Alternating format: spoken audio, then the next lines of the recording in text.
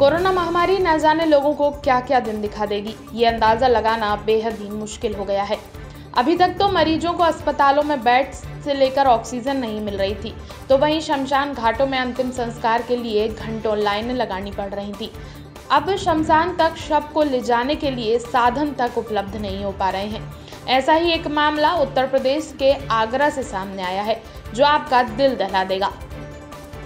UP के आगरा के Jaipur house में एंबुलेंस की कमी के चलते एक मजबूर बेटे को अपने पिता की अर्थी कार की छत पर सजानी पड़ी। इस पूरे वाक्य को देखकर पूरे शहर की आँखें नम हो गई। बेटे को समझ नहीं आ रहा था कि वो अपने पिता के शव को शमशान घाट तक कैसे ले जाए।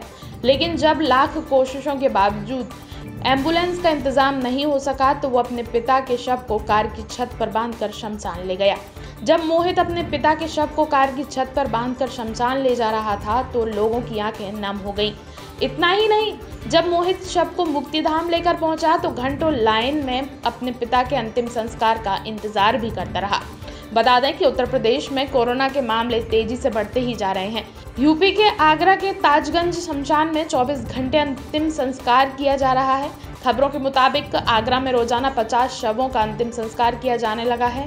आगरा में कोरोना से संक्रमित मरीजों की संख्या लगातार बढ़ने लगी है।